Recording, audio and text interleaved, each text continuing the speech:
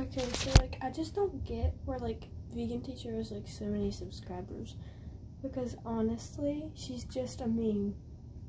She thinks it's okay to be vegan and teach everybody else what to do, even though she's the one bossing people around.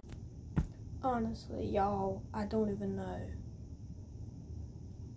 She's the one trying to change people. And then she's gonna be mad at people for not changing. She's absolutely insane, dude. Like, this isn't even funny anymore. Please stop promoting her to be a train wreck. And please stop promoting her to change people. And it's, it's just not okay to change people. Like, well, I guess thank you for watching. But bye. Like, I mean, it's okay to be vegan, but bossing other